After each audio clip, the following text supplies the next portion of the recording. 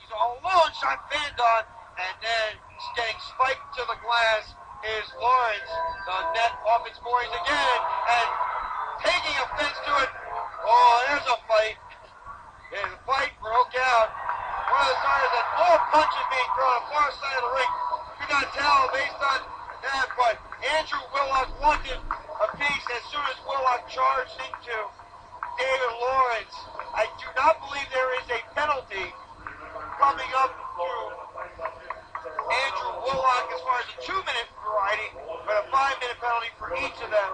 As one of the teammates, I believe it was, I believe it was Timothy Reese, not Timothy Reese, but maybe Tanner Lookoff went fisticuffs and dropped the gloves.